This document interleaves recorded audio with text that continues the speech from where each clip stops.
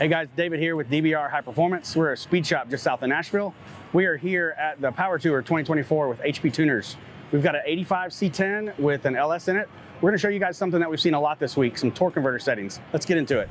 All right guys, so what we've been seeing the most of this week is people coming in with a stutter going down the road. And most of what we found has been in the torque converter settings. They're actually feeling the torque converter slipping back and forth. So I'm gonna show you guys how to fix that. So if you go here, we've got VCM editor open, go to trans, go to torque converter. To start, you got maximum and minimum. This is how much it applies the clutch. So maximum,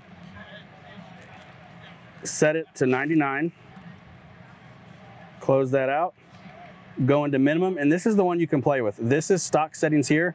A lot of the aftermarket converters, they like, if you set it at 75, so instead of it slipping the clutch, it pretty much applies the clutch really fast. Some converters, they like it if you set it at 90, some 98. This is something you can play with. This can really clean up the, the application of the torque converter clutch.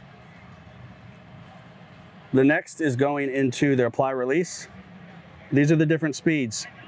Go into normal, and this is a factory torque converter lockup schedule for a Tahoe.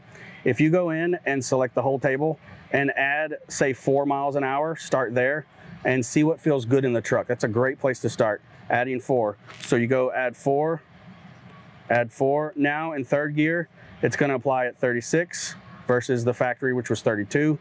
Fourth gear, 44. It's a great place to start. Making those small changes can really make the vehicle feel much, much better. So now that we've made our settings for our torque converter, we're gonna go in and we're gonna save, file, save as, and we're gonna save that file as TQ settings one. That's gonna be our first, that's gonna be our first try. It's always good to save every file you do. So if you don't like what you have, you can always go back. So at this point, everything's ready. Let's plug our MPVI 3 into the vehicle and go from there. Now that we're plugged in and connected to the vehicle, we're gonna go ahead and write that file. All right, guys, we just showed you how to go in and change your converter lockup settings. Uh, this can fix a lot of issues with drivability. This week especially, we've seen a lot of people because of the type of driving we're doing, when the converter would lock up, it would shudder.